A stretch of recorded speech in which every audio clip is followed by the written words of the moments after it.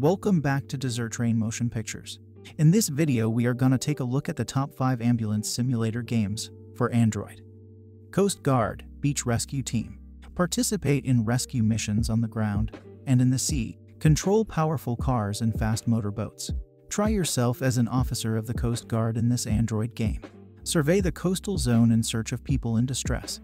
Drive at great speed on the beach and the sea, hurrying to people who need your help. Come first to the scene and get an excellent rewards. Emergency Ambulance Simulator. Drive an ambulance and rush along the city streets to deliver patients to hospital. Demonstrate your driving skills under the hard conditions.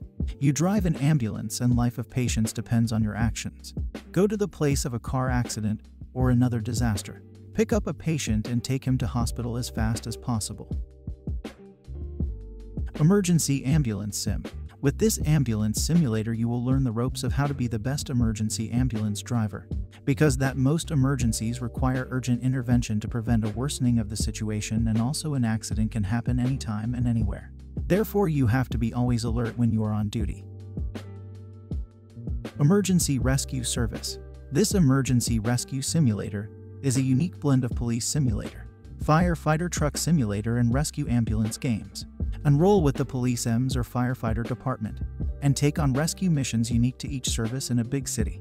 As an emergency medical specialist, your job is to treat injured patients, drive an ambulance towards accident site, and rescue people.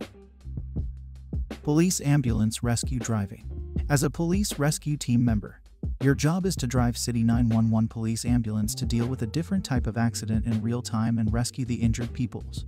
There are different type of challenging rescue missions to complete.